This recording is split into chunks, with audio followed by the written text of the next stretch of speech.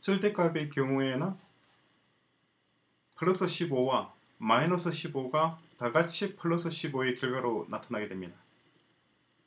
즉 6x-3과 3은 또 15가 되고 여기에 마이너스 가로 열고 6x-3도 역시 15가 되는 거죠. 그 말은 무슨 말이냐니까 6x-3이 15고 마이너스 6x 마이너스 3 이꼴도 15인데 양변에 마이너스 1을 곱해주게 되면 이것은 마이너스 15가 된다는 말과 같습니다. 그 이유는 뭐냐니까 우리가 property of equation에서 세 번째 속성이었죠. equation에 equal로 연결되어 있는 이 문장에서 양변에 같은 것을 곱해주더라도 그대로 equal은 equal이라고 하는 특성은 유지가 된다는 것이 property였잖아요.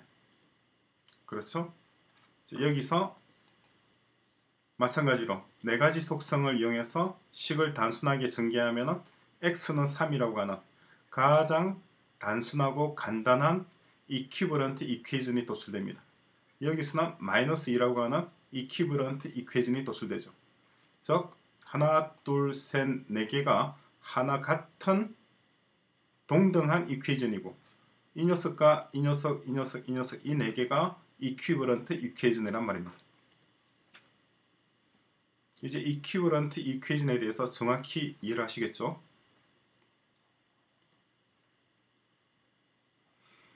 그러면 inequality에 대해서 한번 살펴보도록 하겠습니다. inequality라고 하는 것은 이렇게 우리가 알고 있는 부등호로 표현되는 문장입니다. 우리는 이러한 inequality를 equation이라고 표현하지는 않습니다. 그냥 inequality라고 표현합니다. equation과 inequality를 구별을 하셔야 됩니다. 용어상에서. inequality 역시도 어떤 프라퍼티가 있습니다. 어떤 프라퍼티가 있느냐니까 그게 두 가지입니다. 이런 unequal한 inequality에서 어떤 동등한 것이 서로 더해지거나 빼지더라도 그 등호는 계속 유지가 됩니다. 그리고 두 번째는 어떤 동등한 것을 더 곱하거나 나눠주는데 그것이 파지티브라고 한다면 그 등호는 계속 유지가 되지만 만약에 그것이 네거티브한 것에 의해서 곱해지게 되면 등호가 반대편으로 바뀐단 말입니다. 그것이 속성입니다. 예를 보겠습니다. 여기서 4n 플러스 7이 is smaller than 27 같은 것을 빼주더라도 등호는 계속 유지가 됩니다. 따라서 4n is smaller than 20 여기서 플러스 4라고 하는 positive number로, number로 나눠주게 될 경우 등호는 그대로 유지가 됩니다. 그죠? 따라서 n is smaller than 5로서 equivalent한 4개의 inequality 중에서 가장 단순한 형태가 도출되었습니다. 그러므로 우리는 n은 무엇이란 걸알수 있나요? 5보다 작은 것, 5보다 적은 positive integers를 구하라는 것이니까 1, 2, 3, 4가 됩니다. 다른 예를 보겠습니다. 폴리는 은행에 잔고가 210달러가 있습니다.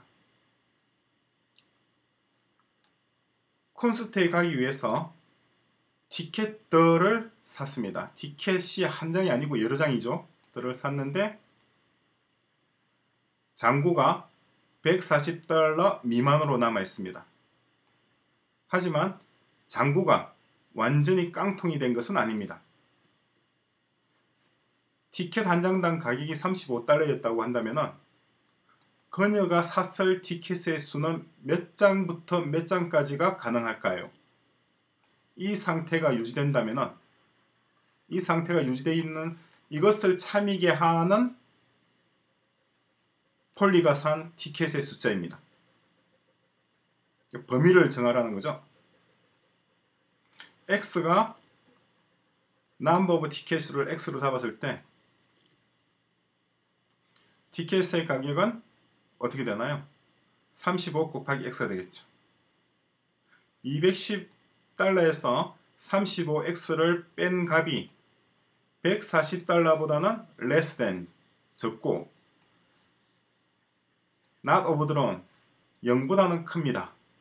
즉 이렇게 표현된 영어 문장을 수학적으로 표현하게 되면 이렇게 표현되는 거죠. 이제 같은 것을 서로 빼줍니다.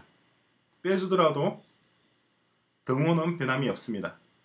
변함이 없이 새로 도출된 이러한 이니퀄리티는 기존에 있던 이 이니퀄리티와 이퀴버런트합니다. 이번에는 나눠줍니다.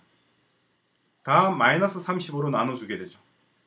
그런데 음수로 나눠졌으니까 등호의 방향이 반대로 바뀌어야 됩니다. 이렇게 바뀌었죠. 이 세 가지 이니퀄리티 하나, 두 개, 세 개는 서로 이퀴버런트한 이니퀄리티들입니다. 이렇게 되면 우리는 이제 x가 무엇인지 바로 알 수가 있죠. 2보다 크니까 3, 4, 5, 6 중에 어느 하나가 될 수가 있는 거죠. 연습 문제가 있습니다. 각자 우리가 공부한 내용을 기초로 해서 연습 문제를 풀어보시기 바랍니다.